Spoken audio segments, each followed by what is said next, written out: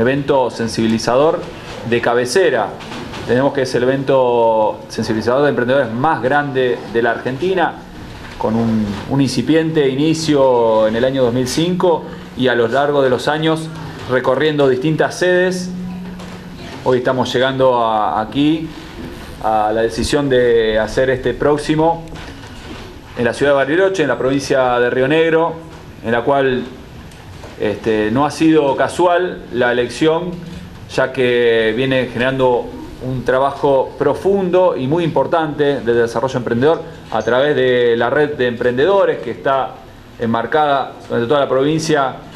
en la FER. Veo su presidente interino, el amigo Palito Sequeira, que está acá discretamente con una remera amarilla para, para no perderse. Este, bueno, y por eso es que cuando se ha hecho las postulaciones de las distintas provincias, Río Negro ha tenido más que varios puntos de ventaja para ser elegido como la sede del próximo y, y además particularmente para mí que es el último año que estoy al frente de la conducción de este grupo Digo, creo que no podía ser mejor marco para, para mi despedida como, como presidente del grupo de jóvenes y dar el lugar para todo eso que vienen trabajando en buena medida. Así que simplemente decirle hay que aprovechar este evento, no va a volver a pasar hasta tanto se vuelva a repetir por el resto de las provincias. Este evento se hace una vez por provincia y no se vuelve a repetir hasta tanto circule todo el país. Realmente es un evento federal. Les puedo contar que las motivaciones que generan asistir a este, a este tipo de encuentro no la van a encontrar en ningún otro tipo de charla o experiencia y dado eso es los relevamientos que se hace posterior al, desarrollo del mismo. Les cuento en una última encuesta que hemos generado eh, en, el, en el trimestre, el fin del trimestre del año pasado, hemos sensibilizado a más de 17.000 personas a lo largo de todo el país en estos encuentros llamado Emprender. Hoy hemos abierto una encuesta que hace no más de 20 días está vigente, ya tenemos 1.200 respuestas respecto de las necesidades específicas de los emprendedores. Y eso es lo que nosotros les acercamos colaborativamente a, los órganos de decisión para que generen las políticas. Bueno, creo que un poco de esto se trata, se trata todo, generar un círculo virtuoso entre lo público y lo privado y por eso más que contentos por el apoyo y la decisión de- del gobierno en acompañarnos en esta empresa que va a ser el Emprender 2017 Río Negro, San Carlos de Bariloche. Podemos decir que se va a enmarcar en el mes de noviembre.